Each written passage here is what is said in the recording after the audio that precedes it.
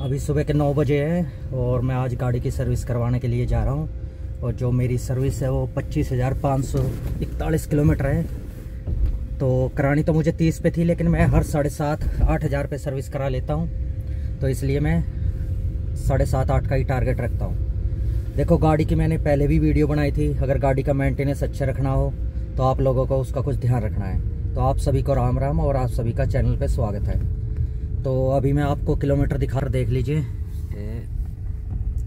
ये मेरे पच्चीस हज़ार तीन सौ इकतालीस किलोमीटर पे सर्विस हो रही है। तो गाड़ी की अगर आपको केयर करना है तो एक तो इसका एयर फ़िल्टर है। अगर आप ज़्यादा, जहाँ डस्ट उड़ता हो तो उस इलाके में चल रहे हो तो उसको हफ़्ते दस दिन में साफ़ करते रहिए तो आपकी एवरेज ठीक निकलेगी गाड़ी की। और जो ऑयल है, वो तो देखो मैं साढ़े सात, आठ हज़ार पे करा लेता हूँ। आप लोग भी अब सोच लीजिए वैसे तो आप लोग सोचोगे कि भाई ज़्यादा पैसा आ रहा है, ऐसा ऐसा कुछ नहीं। देखो, अपने शरीर का सब ध्यान रखते हैं तो गाड़ी का भी ध्यान रखना चाहिए। क्योंकि जो हमारे किलोमीटर है, जैसे चलने में काउंट होते हैं, जैसे आप कहीं जाम में खड़े हो गए तो उसका तो कोई गिनती है ही नहीं तो वो कौन गिनेगा? तो इसलिए साढ़े सात, आठ हज़ार किलोमीटर पे काफ़ी है, अच्छी सर्विस तो गाड़ी भी मेंटेन रहेगी और सब कुछ ठीक रहेगा। और मेरे साथ अभी इस गाड़ी को तीन साल हो चुके हैं तो तीन साल में मुझे कोई प्रॉब्लम आई नहीं है इसमें। हाँ वहाँ पे आए थे स्पीति वाले ट्रिप पे, लेकिन वो गलती हमारी थी। तो उसमें स्पार्क प्लग जो शॉर्ट हो गया था तो उसमें तो कुछ कह नहीं सकते हैं। तो आज देखते हैं इसका क्या क्या होएगा। उस टाइम तो ग्यारह हज़ार रुपये का बिल था। स्पार्क प्लग तो मैंने अपनी मर्ज़ी से चारों चेंज कराए थे। जबकि उन्होंने कहा था चेंज कराने की ज़रूरत नहीं है, जो ख़राब है वो ही करा लो। लेकिन मैंने चारों चेंज करा दिए थे। तो देखते हैं आज क्या क्या होता है सर्विस में क्या क्या नहीं, वो आपको सब दिखाऊँगा मैं। और सारी जानकारी दूँगा, कितना मेरा बिल आया, क्या खर्चा आया। और ये मेरी फिफ्थ सर्विस है। फिफ्थ सर्विस तीस हज़ार किलोमीटर की, मान लीजिए। लेकिन मैं तो पच्चीस हज़ार तीन सौ इकतालीस किलोमीटर पे करा रहा हूँ। और जल्दी सर्विस के बाद कोई ना कोई ट्रिप लगाने की सलाह है। तो देखते हैं कि कहाँ का ट्रिप लगे, कहाँ का नहीं, कौन मेरे साथ होगा, कौन नहीं होगा। या अकेला ही जाना पड़ेगा सोलो ट्रिप की तरह।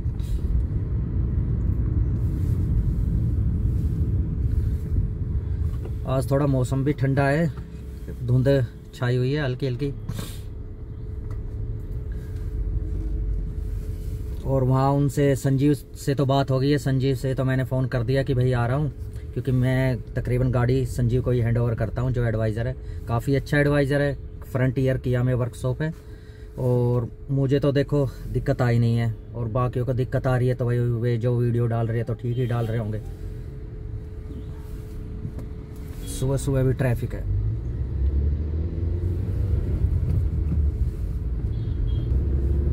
तो गाड़ी की टाइम से सर्विस कराइए ताकि आपको कोई प्रॉब्लम नहीं आए आगे चल के। मैं तो यही बोलूँगा, और आप लोगों के ऊपर डिपेंड है, भाई आप क्या करना चाहते हो, क्या नहीं, वो तो आप लोगों की मर्ज़ी है। लेकिन गाड़ी का air filter oil filter spark plug के लिए टाइम से सर्विस करवाते रहे तो कोई भी गाड़ी कुछ दिक्कत नहीं देती है। मेरी करोला भी 18 साल पुरानी हो चुकी है। और वो भी रनिंग में कोई प्रॉब्लम नहीं है। लेकिन उसको चलाता कम हूँ, क्योंकि यहाँ पे सख्ताई हो चुकी है एनसीआर में तो कभी उसको बॉन्ड कर दे और पता चले कि कुछ नहीं मिला और कबाड़ी के भाव में कट गई।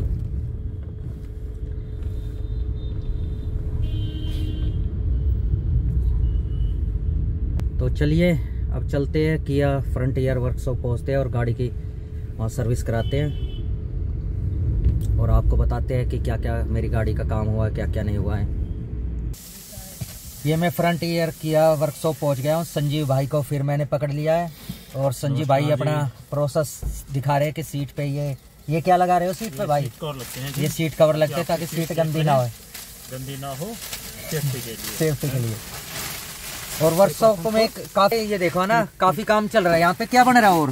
ये वर्कशॉप बन रही है दोबारा सेकंड फ्लोर तैयार अच्छा सेकंड फ्लोर तैयार हो रहा है। हाँ ये काफ़ी बन रहा है। और आज हमारी गाड़ी की कौन सी सर्विस है? तीस हज़ार वाली है। तीस हज़ार वाली फिफ्थ सर्विस कह सकते हैं इसको। हाँ जी तो इसमें क्या क्या चेंज करना है? इसमें आपका बेसिक होगा engine oil oil filter air filter और चेकअप और जर्नल चेकअप होगा पेट सर्विस होगा क्लीनिंग होगा एंड अपडेट्स होंगे। जो भी अपडेट होंगे। बिल्कुल जी बिल्कुल। तो भाई इसको अच्छी तरह से चेक कर लेना। वैसे तो मुझे आज तक कोई दिक्कत आई नहीं है। आप लोगों की तरफ़ से टाइमली तो, सर्विस करा रहे हो आप तो किया तो देखो मैं तो कहूँगा बेस्ट है ही मेरे लिए तो अब तक तीन साल हो गए तो कोई प्रॉब्लम नहीं आई है। गुड और ये तो है कि हमें टाइम से सर्विस करवाते रहे तो उससे और अच्छा है। जैसे मैं साढ़े सात आठ हज़ार पे आ रहा हूँ आपने भी देखा होगा। आप टाइम से सर्विस कराओ गाड़ी में कभी कोई प्रॉब्लम नहीं आनी। और हमने पिछली सर्विस साढ़े सात हज़ार साढ़े सत्रह हज़ार पे करवाए थे। बिल्कुल जी सत्रह हज़ार तो वही टाइम से पहले सर्विस कराते हो गुड अच्छी परफॉर्मेंस आती है सर उससे। हाँ उससे गाड़ी का केयर रहता है जैसे अपने शरीर का भी ध्यान रखते हैं हो। जाती है बिल्कुल जी अपने शरीर का भी ध्यान रखते हैं। तो चलिए अब हम और संजीव इसका जॉब कार्ड खोल देते हैं। फिर आपको फिर दिखाते हैं कि गाड़ी की सर्विस होने के बाद क्या है क्या क्या बिल आया कितना आया हमारा। बिल्कुल थैंक यू अभी मैं वेटिंग लॉन्स में आ गया हूँ तो यहाँ वेट करता हूँ।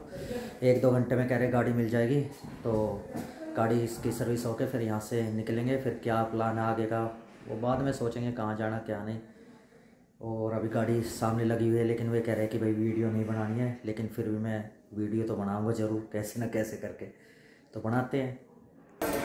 अभी गाड़ी का काम मेरा स्टार्ट है, और गाड़ी का काम हो जाएगा oil oil filter air filter और बाकी सब चेकअप कर रहे हैं अच्छे तरीके से, आप देख रहे हो, और गाड़ी मेरी लिफ्ट पे लग चुकी है।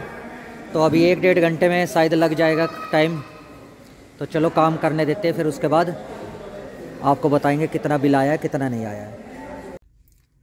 गाड़ी की सर्विस हो गई है, और मैं गाड़ी के अंदर हूँ, क्योंकि बाहर थोड़ा अब ऐतराज़ करते वीडियो बनाने के लिए। सामने है, दूसरी गाड़ी का जॉब कार्ड खोल रहा है। आपको डिटेल बता रहा हूँ, जो मेरा खर्चा आया है छः हज़ार दो सौ उनतीस रुपये आया है। जिसमें जो लेबर है, लेबर थोड़ी मुझे ज़्यादा लग रही है। लेबर जो है, विद टैक्स चौबीस सौ चौवन रुपये है। और बाकी मेरा ऑयल चेंज होया है ऑयल फ़िल्टर होया है एयर फ़िल्टर होया है, और एक कार्टेज है, जो परफ्यूम की है, वो मेरी डली है, और एक वाइपर पीछे का वो चेंज हुआ है। तो ये मेरा टोटल जो पार्ट्स का खर्चा है, वो इकतीस सौ उन्नीस रुपये है। तो पार्ट्स में तो कोई दिक्कत है नहीं, इकतीस सौ उन्नीस भी टैक्स ये सैंतीस सौ पचहत्तर रुपये टोटल टैक्स का। लेकिन जो चौबीस सौ चौवन है, बस वो थोड़ा मुझे खल रहा है कि भाई लेबर इनको इतनी नहीं लेनी चाहिए। तो लेबर थोड़ी ज़्यादा ली हुई है। अभी मैं आपको दिखा भी, ये आप देख लीजिए। ये आपके सामने बिल है।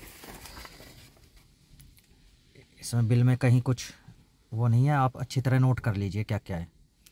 ये ऑयल फ़िल्टर हो गया एयर फ़िल्टर ये सारा और ये देख लीजिए, ये सामने। सैंतीस सौ पचहत्तर मेरा पार्ट्स का और चौबीस सौ चौवन लेबर होगी। तो ये थोड़ा ज़्यादा लग रहा है बस। लेकिन चलो पाँच छः हज़ार रुपये तो देखो आएगा गई। गाड़ी का बिल अगर इतनी बड़ी गाड़ी ली है। तो अब यहाँ पे गेट पास बनवा लिया है। अब निकलने की तैयारी है। तो अभी जाते हैं एक दो दोस्तों से मिलते हैं और देखते आगे कहाँ का प्लान है टूर का, कहाँ का नहीं। गाड़ी की सर्विस भी हो गई है ओके भी हो गई है।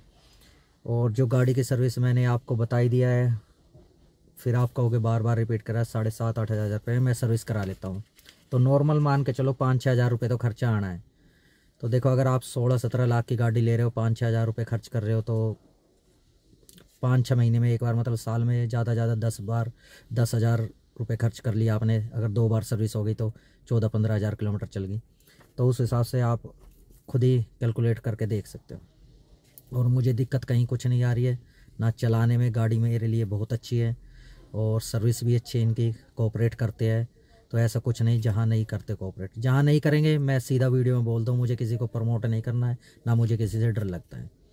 तो आप सबको सारी इन्फॉर्मेशन मिली गई और आप सभी को अगर वीडियो अच्छी लगे तो प्लीज़ इसको लाइक सब्सक्राइब और शेयर करें और बाबा भले ही करें।